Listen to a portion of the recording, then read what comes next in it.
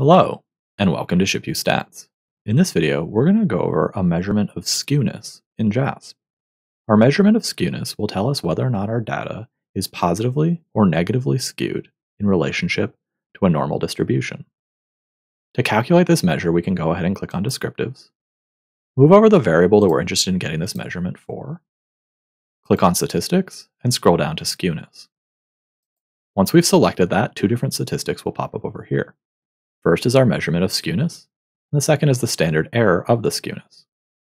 Both of these statistics will be important to report when we write this up in APA format.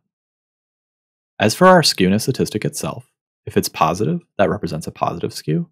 If it's negative, it represents a negative skew. And if it's zero, it represents no skew at all.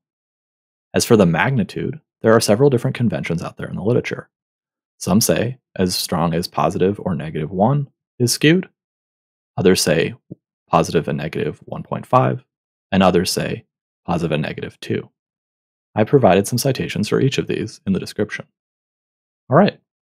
Thanks for watching this short video on the skewness statistic in JASP.